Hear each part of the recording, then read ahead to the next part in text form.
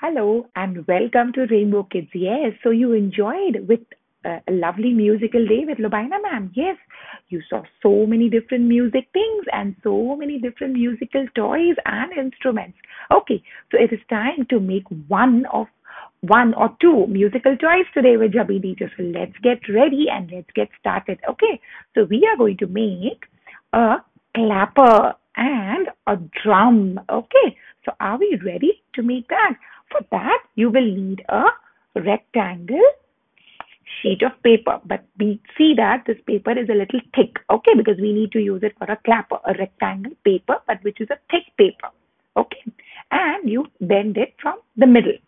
Okay, then what are we going to do? We are going to fix two caps, bottle caps. These are the bottle caps which you're going to fix two bottle caps, one at this end and the other at this end. Okay, this is the way you are going to fix the bottle caps. Okay, this way at both the ends. You're going to fix that bottle cap. Can you see? Yes. So we are going to fix this bottle cap with the help of a glue gun here. Okay. Let's fix the bottle cap. Here. I am fixing the bottle cap. Yes. Yes. So we are fixing the bottle cap at both the ends. Yes. So the two bottle caps have been fixed. Fine. Then what are we going to do? We are going to fix something else also. So this part is ready. Okay. Fine. Then we are going to fix two loops here. You can just take a piece of paper and make a loop. Okay.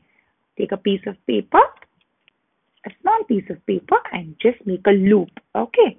So you have to make two loops for your two fingers. Okay, so here I make one loop. And I'm going to fix the loop behind here. Okay, on the back side. The cap is over here and the loop is here. One loop on this side, little behind. Okay, so that your finger goes there. Okay, here is will be your one loop. Can you see? Yes. And one loop this side. You can do it with the help of a Fevicol also. Okay. But the bottle caps, if you take Fevicol, the bottle caps will take a little more time to get fixed. Okay. But if you are using a glue gun, you have to use with the help of your mama. You cannot because it's very hot.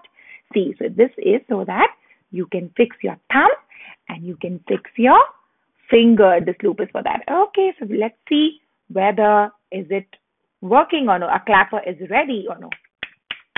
Yes, your clapper is ready. You can play music with your clapper. Okay, can you hear? But we will decorate it and make it more glittery and more nice. So let's let's decorate our clapper also. We can stick some stars. Okay, we can have any stickers. You can put your favorite sticker so time to decorate your clapper. Let's decorate your clapper. We can have one star here. You can have another star over here. Okay, so you can see a glittery clapper. Then you can also have one more behind also. You can have a circle. You can have all your shapes. And one more circle. Okay. So your clapper is being decorated and this is how your clapper is going to work. Can you see? Yes, can you hear? And you can play, play and play with your clapper. So this is your musical clapper. This is ready. Okay. Now it's time to make a drum. Listen to my big drum. Bang, bang, bang. So for the drum, I need any tin. Okay, this is I this is best out of waste you can do. I have a tin of my tea leaves. You can take any tin, any tin. Okay, an empty tin. Fine. It is an empty tin. You can take an empty tin. And what do you have to do? I have a balloon over here. Okay.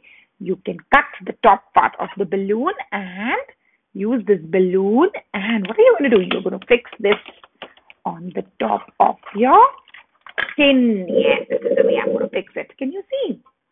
Yes, I have fixed it on the top part. Okay. See, what did I do?